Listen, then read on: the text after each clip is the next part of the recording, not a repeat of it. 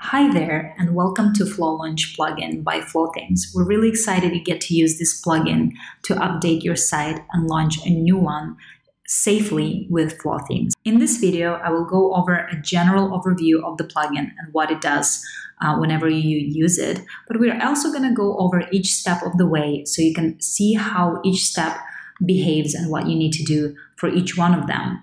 You can also read in the process tab what each step is about and what it will do when the plugin is running it. We also have a features and details tab, and here you can read a bit more about the plugin in detail. Overall, you can always come back to this overview video if you have any questions or you want to just rewatch to make sure that you're following the process correctly. So first things first, what you need to know is that FloLaunch plugin works for all WordPress sites. So whether you're already on Flo theme and you're just updating to a new one, or you just want to make updates in your current Flo theme, or you use just another WordPress theme, um, not from Flothemes, and you want to update to a Flo theme, you can use this plugin to do so. So as long as you're on WordPress, that works. What FloLaunch does is basically create a copy of your current site which we call a clone. And you can see that in all of our processes here, in all of our steps. Once your clone is created, you're able to log in into the clone's dashboard and edit and update it till you're happy with the new site and you're ready to launch. During this whole process, you're able to log out and log in into your current site and make any edits you need for your current live site. So when you're working on your clone site, basically your users see just the live site uh, while you're doing all the magic in the backend. And once you're ready updating and preparing the new site, you will go through the launch process of your clone site with no downtime whatsoever for your users. And then if you're for any reason not happy with the way it came out, you can always revert back to your old site again by using the FloLaunch plugin. So this is kind of a general overview, but now let's start with the um, actual steps and go through each one of them uh, to see how that all looks. To get started, let's click on Start Cloning Process. Our first step is Compatibility Check. What it does, basically having the plugin run through all the requirements that we need to make sure that your site and your hosting, to be more precise, is compatible to create a copy. So this will run through certain configurations, and once it's ready, you'll receive this window with uh, compatibility test is successfully finished, and you're ready to proceed to backup step.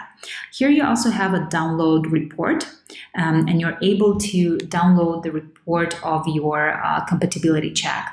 This is important also in case there is an error with one of your um, items here and you will receive an image similar to this one with a problem described and a solution um, and whom to uh, address it to. Some of these issues might include a solution to contact our uh, support team. So make sure to read this through um, and follow the instructions to make sure that you pass the compatibility check and are able to proceed to the next step.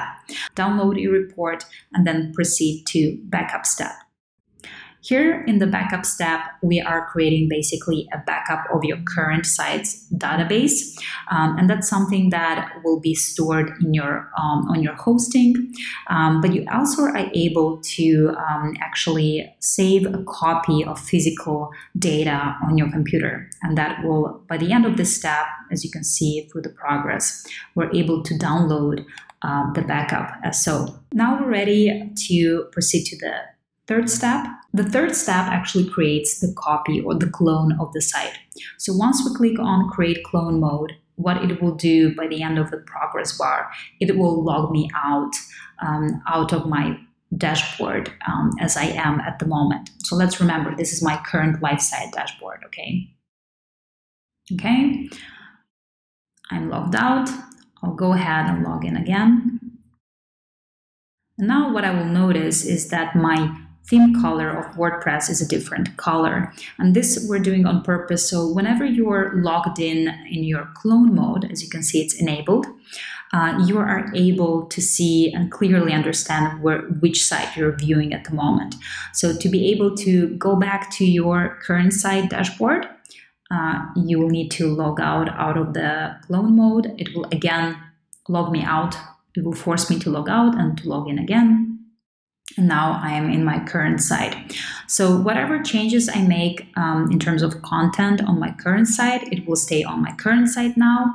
Um, it will not be copied automatically to the clone site. So if you're adding a post, a blog post on your current site, make sure um, that you add one to your clone site from the moment the clone is created. So just to be clear that the copy of the site um, is of that current state of the site when we did the copy. Now you're ready basically to make changes to your clone site.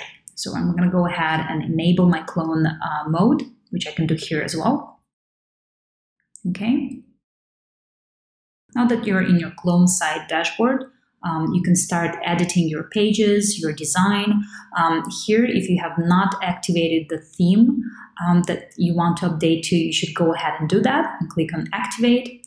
Uh, so for example, if I'm currently on Como theme, that's my current site, and I want to update to Narcissus, um, I'll go ahead and activate Narcissus in my clone sites uh, dashboard and start updating and um, editing it, making sure it looks as I want it to. One more thing that is important to know also during this stage when you're logged in in your clone site dashboard and viewing um, its dashboard is that if you preview your site, you will see the clone site.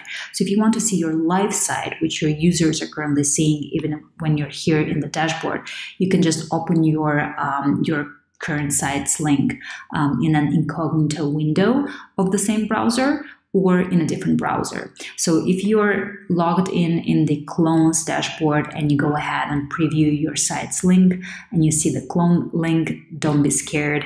Your users are definitely not seeing that. It's just you as an admin who is able to view this. Okay, let's go back to our plugin, FloLaunch. And um, I'm to go ahead and disable clone mode. And um, log in back to my current site dashboard. So over here, for example, you've started editing your clone uh, site um, and you're quite far into the process, but for some reason you're not happy how it's turning out. Uh, you can always delete clone mode. Um, and what it will do, it will delete the copy of the site that we have just created and you'll be at step one again. So we're gonna go back and go through all of these steps again. Okay, I'm back in my new clone site. Um, once you're ready with all the changes that you need to make on your clone site and you're ready to launch, you can proceed to uh, step five. We can either go back or we can just launch the site. So make sure you check everything before you do that, and we'll just click on launch site. Again, we have, go through three steps. It's checking that the compatibility um, is there and that your hosting is ready to launch the site. We're also creating a backup. This time, this backup actually includes both your current site and your clone site. So this one will be important to, um, whenever we create that, to, um, to save just in case on our physical computer as well, um, as well as the copy that exists on your hosting, which is created uh, through this uh, progress bar. Once we're done with the backup creation, just go ahead and download that for yourself and proceed to launch step. At this step, we have one important recommendation, and that's to clear your cache. So you can go ahead and click that to clear your cache and make sure that whenever your new site is launched, you actually see the uncached version of the new site rather than the cached version of your old site. And then you're ready to click on Finish Launch Process. I'll just wait for this to load. It will log me out again. And now when I log in, I'm actually in the dashboard of my clone site, uh, which is now live site. And you can see the theme of the WordPress is changed to what is currently live. Um, and now in the FloLaunch plugin, you have new options. You have an option to start cloning process again, or you can revert back. So revert back will uh, do the following. It will revert back to your old site um, that we have uh, basically uh, backed up already. Uh, so we're reverting back to that uh, to that version of the site before we launch the clone site. And we're again back to the step of making changes in our clone mode.